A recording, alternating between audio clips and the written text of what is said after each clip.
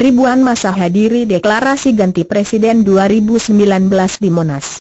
Ribuan orang yang tergabung dalam gerakan nomor 2019 ganti presiden memadati lapangan silang Monas, Gambir, Minggu, 6 Mei 2018.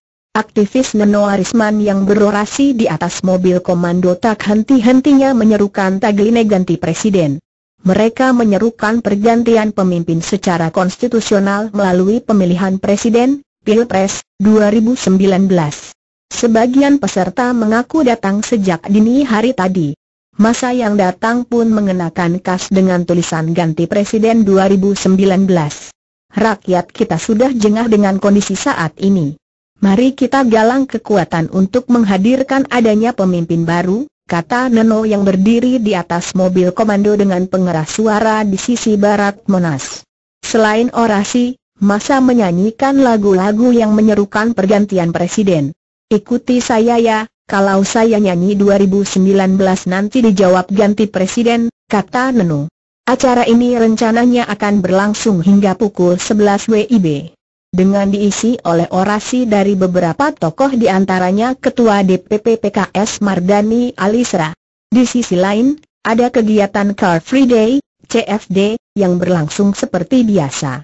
Mereka tak tampak terganggu dengan adanya kegiatan ini karena orasi dijaga oleh barikade polisi. Kabit Humas Polda Metro Jaya, Kombes Pol Argo Yuwono mengatakan, pengamanan terhadap kegiatan tersebut dilakukan seperti pengamanan biasanya. Ada lima ribuan lebih gabungan TNI Polri, kata Argo di Arna Car Free Day, Bundaran High, Jakarta. Awalnya dikabarkan kegiatan ini akan dilaksanakan di Arna CFD, namun bergeser ke Silang Monas Barat atau Taman Aspirasi. Argo menganggap peraturan gubernur secara tegas melarang CFD digunakan untuk kepentingan di luar ketentuan CFD. Kegiatan deklarasi 2019 ganti presiden pun bergeser ke Taman Aspirasi.